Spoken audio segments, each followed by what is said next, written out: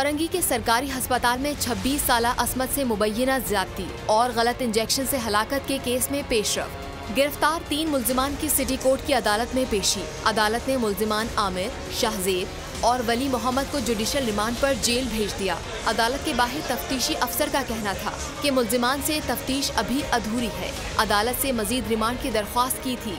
मफरूर सरकारी डॉक्टर की गिरफ्तारी के लिए छापे मारे जा रहे हैं। दूसरी तरफ़ असमत के अहल खाना ने पुलिस तफ्तीश पर अदम एतमाद का इजहार करते हुए डॉक्टर शकील को शामिल तफ्तीश करने का मुतालबा कर दिया। हमारी बच्ची के